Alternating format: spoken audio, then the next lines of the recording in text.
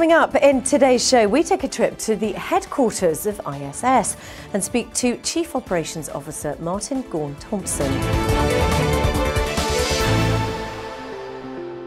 Hello and welcome to the first episode of this season of EC Television, the only show for the professional cleaning industry. We're going to start today's show by taking a brief look at what's going on in the world of cleaning. A premium priced toilet roll made from waste milk has been hitting Italian supermarket shelves this winter. Carezza del Latte, which translates as milk caress, is a collaboration between German fabric innovator Q Milk and Italian tissue company Lucart. Global distribution company Bunzl is to acquire more businesses in Denmark and France. Sæbe Compagniet, which is based near Copenhagen, is a distributor of cleaning and hygiene related products in Denmark. ProRisk and GM Equipment specialise in the sale of personal protection equipment and first aid related products. In the UK, extra funds are to be pumped into the National Health Service to help UK hospitals tackle the current superbug crisis. The 53.8 million euro cash injection will be shared among the nation's hospitals in a bid to reduce infection rates.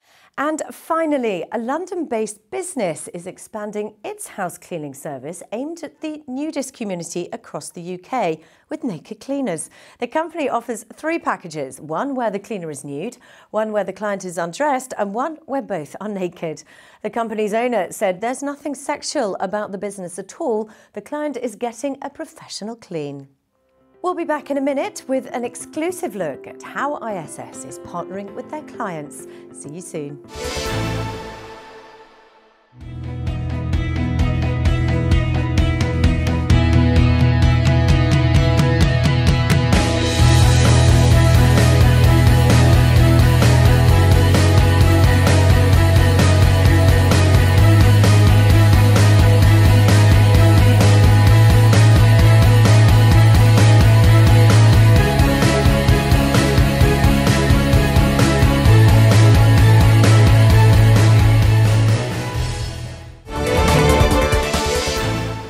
Back to EC Television.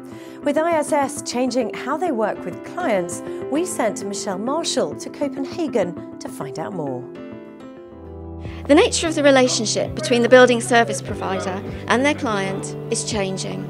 This means there's a drive to find new working methods that improve the service experience. We're here in Copenhagen at the headquarters of the world's largest facility service provider, ISS, to talk to Chief Operating Officer Martin Gaarn Thomsen. I think the most significant development that we have seen in our relationship with our clients has really been our customers more and more focusing on their core business. It's about their purpose and how do we then as service provider underpin and help them achieve that purpose. What you are delivering to, for instance, a hospital is no longer a, a good, healthy uh, environment, but it's actually helping the hospital healing their patients. Close to 40% of our cleaning solutions we are delivering together with our integrated solutions, so together with the other services. In those integrated solutions, we talk about the user touch points. So where do the users of the building come into contact with our services. It can be when you enter the building and come to the reception. Is the reception uh, friendly and smiling? Is it clean? Is the lighting and the heating and the ventilation okay?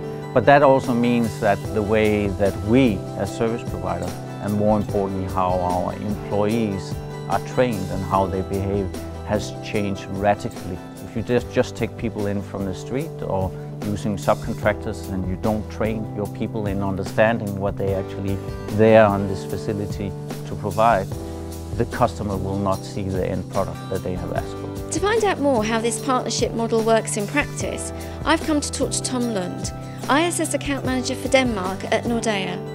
Nordea is one of the largest financial services groups in the Nordic region. In 2013, we went into a new model, a partnership model, which is then based much more on end user satisfaction.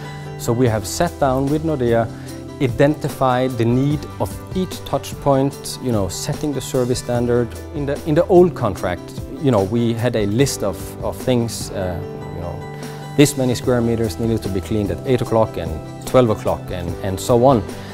It doesn't work like that today. So if there is a need for us to decrease cleaning in one area and increase cleaning in another area. You know, that is up to us to decide.